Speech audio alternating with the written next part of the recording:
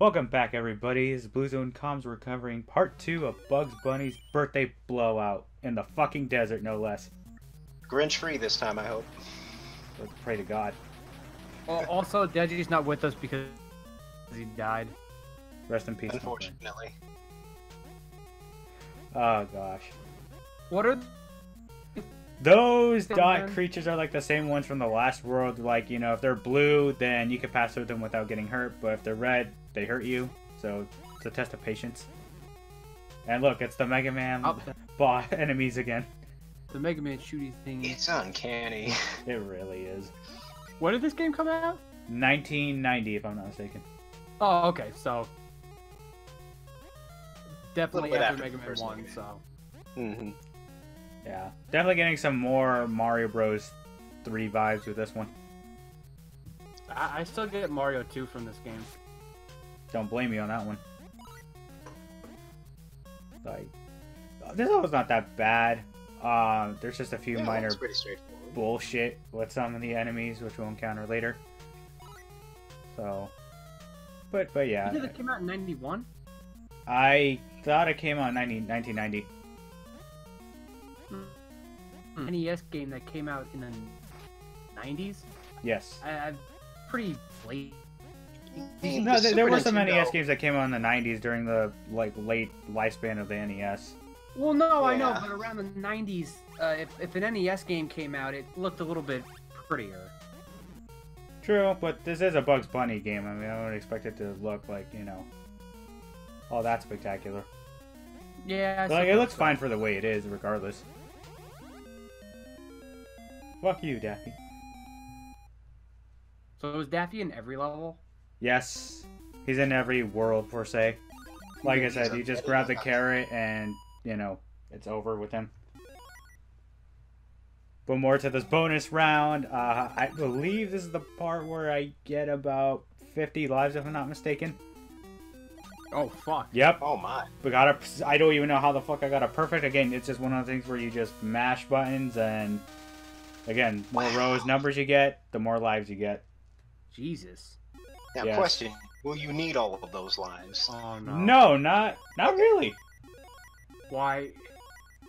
It's It- just like I said. This game is just. It's very generous with lives. It's pretty straightforward and easy for the most part. So Yeah, because that's usually that's usually like a warning. Like if the game starts spoiling you with lies, that's telling you, oh, you're in for some shit later. But no, it looks like they just they just overcompensated here.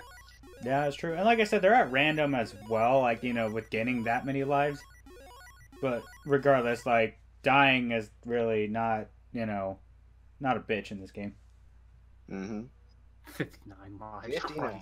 Just 10 more, we'll get to the 69. Oh yeah, once in a while there'll be fucking What the fuck? earthquakes. Yeah, I'm wondering.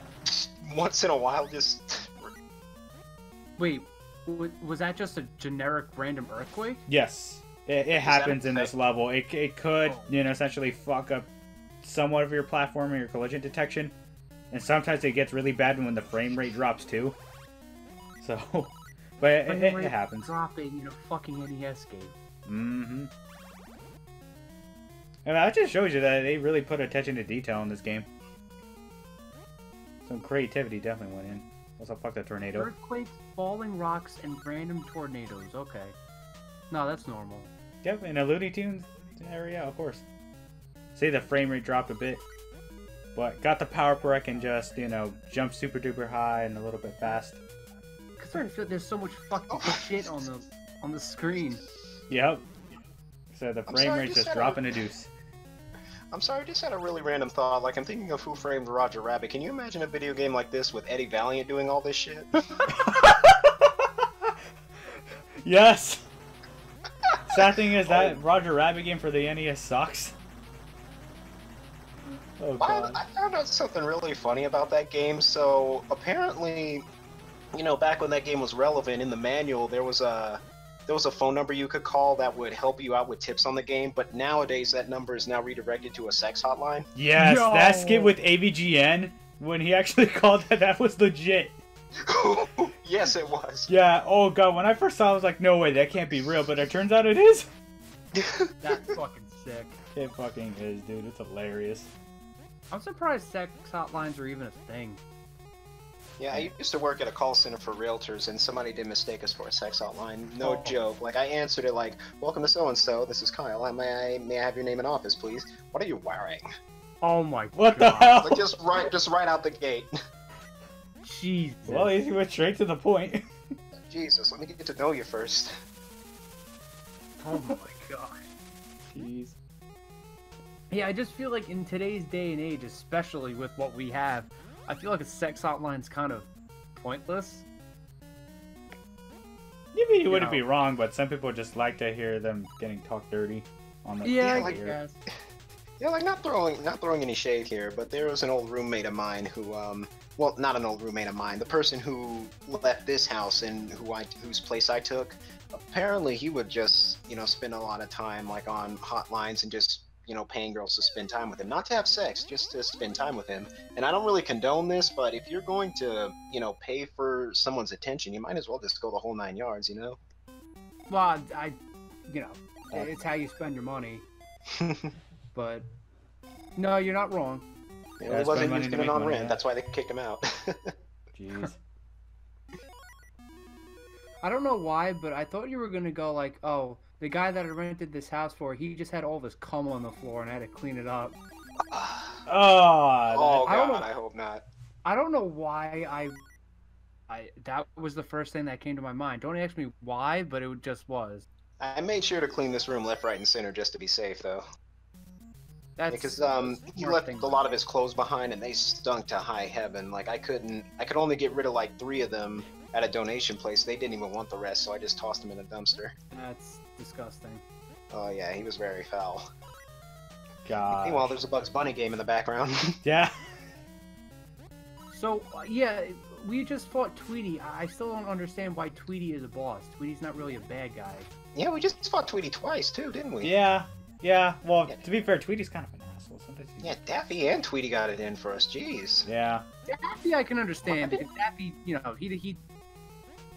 Daffy has a love-hate relationship with Bugs, but Right. Tweety, Yeah, what's up with Tweety though? Like they've never had any animosity. In fact, I don't think they've ever even been in a cartoon together. yeah, they have. I'm, Oh, pre- have I'm they? pretty sure they have. Yeah, Like considering special. Looney Tunes' history. I see. Did they did they get along? Do you remember? Yeah, Tw- Tweety's considered one of the uh, good Looney Tunes. Okay. Okay. So what Tweety's the a Tweety? dick, but Tweety's not like bad or malicious. Yeah, that's true. I guess you could say they were just too lazy to put it with up with other sprites or other Looney Tunes characters, so they thought, "Eh, let's put Tweety. Who gives a fuck?" I mean, you could use the Tasmanian Devil, Wily Coyote. Oh wait, they did use Wily. Yeah, Uh, Yosemite So Sam. th- th- there'll be there'll be more characters to come, but yeah, there are, there are some boss fights that are recycled, but you know, it's Elmer. Fudd, Yosemite Sam. Marvin the Martian. Uh, Yeah, more- no comment. You will you you will see eventually. Oh. Didn't didn't DC have like a comic crossover with the Looney Tunes? Yes. Oh I god, the need to read cover those. artwork is just so fucking entertaining. I've read some of the comics too. Elmer Fudd versus Batman. I shit you not. That was like one of the most entertaining comics I've ever read. That's I mean, it's something you would never expect to enjoy, but if you actually read the damn thing, it's it's just fucking amazing. Mm. Doesn't art- doesn't Daffy Duck shit post Lex Luthor? I believe What? so. I saw the comic cover for that. I I don't think it's out yet, but I haven't read it for sure. Like I think Daffy Duck just goes on Twitter and starts shit posting about Lex Luthor, and then uh, Luthor just like messages him privately. Oh jeez. We need looks so fucking weird. He looks like an uncircumcised scrotum. like it looked like his hands. It was really. Like, I felt. I feel like it would be more funny if they were their actual Looney Tunes designs in front of the realistic Batman and Lex Luthor.